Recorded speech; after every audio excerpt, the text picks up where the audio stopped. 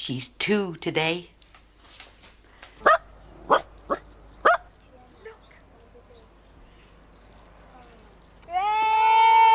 There.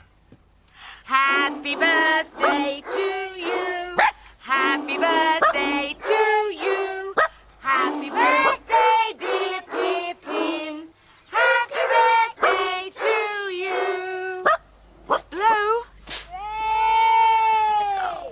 Clever girl, Pippin.